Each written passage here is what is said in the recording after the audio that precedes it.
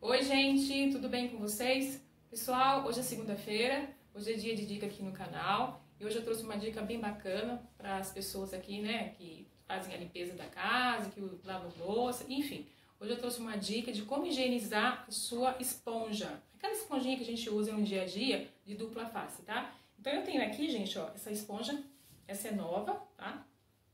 Tirei agora da embalagem. E eu tenho uma aqui na minha mesa, que eu já estou usando, já tem mais ou menos uns três dias que eu estou utilizando essa esponja, tá? E aí, gente, vou passar para vocês uma forma de higienizar é, no micro-ondas.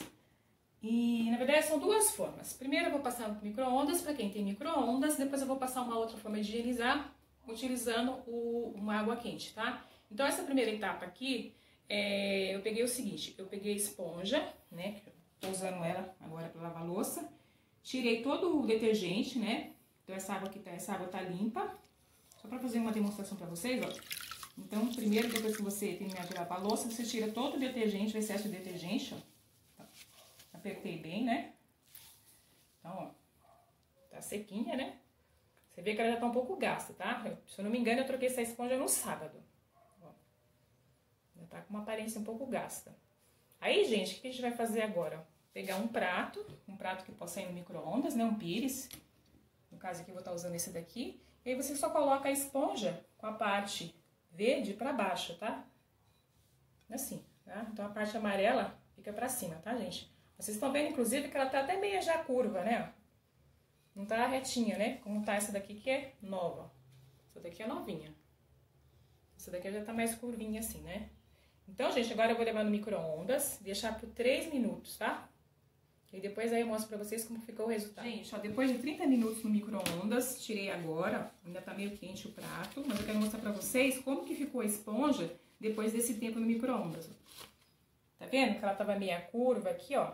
Ficou certinha, gente. Ficou retinha, parecendo essa outra esponja aqui, que é a novinha, que eu nem usei ainda, ó. Além disso, gente, se vocês, ó, apalparem assim, ó, fica bem maciozinha a esponja, ó. Parece que eu acabei de tirar do pacote, ó. E pronto, ó. Higienizada, pronta para ser usada novamente. Aí, gente, pode até, tá saindo até fumaça, ó. Pode até a gente achar que é besteira fazer isso, ah, mas por que se a esponja tá limpa depois que eu lavo a louça, enfim. Gente, na verdade, a esponja vai estar tá limpa, tá? Só que ela não vai estar tá higienizada. Existe uma diferença entre limpar e higienizar. No caso, é a esponja que a gente usa para lavar todo tipo de resíduo, né? De restos de alimentos e tal. O, as bactérias, né, os fungos, eles ficam impregnados aqui na esponja, que são invisíveis, a gente não consegue ver a olho nu, né? Mas é importante você fazer tipo de higienização, até porque a sua esponja ela dura até mais tempo, né? Prolonga a vida da sua esponja, tá? E além de tudo, mantém ela limpa sem cheiro, tá? O mais importante também, ó. Tá com cheiro de produto de, de limpeza, vamos dizer assim. Não tá com aquele cheiro ruim de resíduo de comida que fica normalmente quando você deixa a esponja aí no lugar úmido, tá? Então depois que você fizer esse tipo de higienização, você coloca no lugar onde você está acostumado a guardar, né? Perto da pia, onde você achar melhor, e tá pronta para usar de novo. E aí, gente, esse tipo de higienização é indicado que você faça uma vez por dia, tá? Depois que você terminar de lavar sua louça do almoço, a louça da janta, aí você faz essa higienização e pronto. Você pode usar ela normalmente. E aí, é claro, né? É, o prazo para você trocar a esponja, aí varia de pessoa para pessoa. Lógico você não vai deixar sua esponja, né, se deteriorar, né? Então, a hora que você achar que deve trocar, aí você troca. Mas, com esse tipo de procedimento, sua esponja está totalmente livre de bactérias, tá bom? E agora eu vou ensinar outra forma de você estar fazendo essa higienização, só que agora utilizando um outro método para quem não tem micro-ondas, tá bom?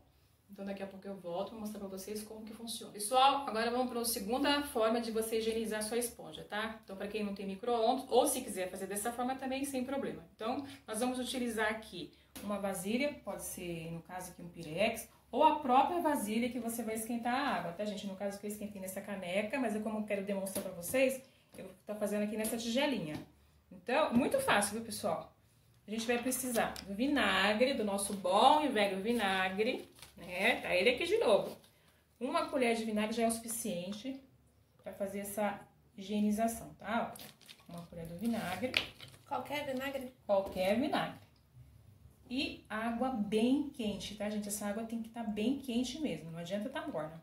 Então, vou colocar um pouco aqui, porque eu não sei quanto na hora que eu colocar a esponja, para não cair para fora. Então, assim, você pode mergulhar aqui dentro também, sem problema. Então, aquela esponjinha, que eu mostrei pra vocês agora há pouco, é a mesma esponja que eu vou estar utilizando. Aí, tanto faz colocar pra cima ou pra baixo, porque o importante é que ela fica mergulhada na água, tá? Aí, eu vou colocar mais água. Se ela, ela vai boiar, né, no caso. Se ela boiar, gente, ó. Aí você coloca um pratinho, no meu caso, se ela vai boiar, porque eu quero que ela fique submersa, tá? Ó. Caso sua esponja, no caso que acho que nem vai boiar, mas se caso ela ficar subindo, você coloca alguma coisa para ela baixar e ficar totalmente coberta, tá? Porque ela tem que ficar totalmente coberta, senão a higienização não, não fica completa.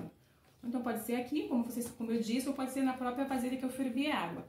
Água quente, bem quente, tá? Aí por quanto tempo que tem que ficar aqui? Ficar aqui até a água esfriar, até ficar morna, tá pessoal? Esse é o mais indicado. Querendo, querendo de vez em quando mexer e virar, tudo bem, mas não tem necessidade. Se caso ela ficar submersa, como está aqui no caso, ó, se precisar você coloca um pratinho, alguma coisa, porque aí ela não vai subir, ó. E deixa aqui no canchinho aí na sua cozinha até a água esfriar. Aí a água esfriou, você pega a esponja, aperta bastante com as mãos para ela ficar sequinha e já tá feita a higienização. Tá? Bem facinho, sem nenhum problema. Tá? Então, usando sempre vinagre, qualquer tipo de vinagre, tá, pessoal? E foi isso então, gente. Essa é a minha dica de hoje, uma dica importante, né? Uma dica até de saúde mesmo. E aí, gente, esse tipo de procedimento, ele também evita que sua bucha fique com aquele cheiro, né, desagradável, aquele cheiro ruim, né? E você deve evitar de deixar a esponja na, na pia depois que você lava a louça, às vezes fica com resíduo de comida, isso aí ele causa um mau cheiro, também fica, né, com que sua esponja tem uma vida útil reduzida. Então, assim, procure deixar sempre limpa a esponja, mesmo depois que você lavar a louça, deixa ela limpa, aperta bem, deixa ela sempre no lugar na, na pia sequinho, tá? E como eu falei para vocês, pelo menos uma vez por dia, ou se vocês acharem que é muito, né, uma vez por, uma vez por dia, então faça isso pelo menos umas três vezes por semana, ou no micro-ondas, ou aqui com água quente, que isso vai evitar que a sua bucha fique assim com cheiro desagradável e vocês vão poder usar mais tempo também, tá? Então assim, pessoal, espero que vocês façam essa dica, porque é uma dica muito boa mesmo, tá? Façam essa dica, depois vocês comentem aí o que vocês acharam. Quem já conhece também pode comentar. Quem já tiver um outro método de higienização também, se puder falar pra gente, né? É sempre bom trocar essas informações, nós somos donas de casa, tá bom, pessoal? E gostaria muito que vocês continuassem se inscrevendo no meu canal. Tô muito feliz que meu canal tá crescendo bastante. Eu tô louca pra chegar ao 2K, né? Eu ainda não cheguei, tá, gente? Tô assim correndo para que isso aconteça, torcendo bastante para que eu consiga chegar logo aos 2K. E também quero que vocês continuem me seguindo lá no Instagram, que também está crescendo bastante e que deem bastante like, comentem sobre esse vídeo, tá? E vamos ajudar, tá, amigos? Vamos ajudar, assistir o vídeo de todo mundo até o fim, sem pular, e todo mundo cresce junto, tá bom? Um beijo para todo mundo e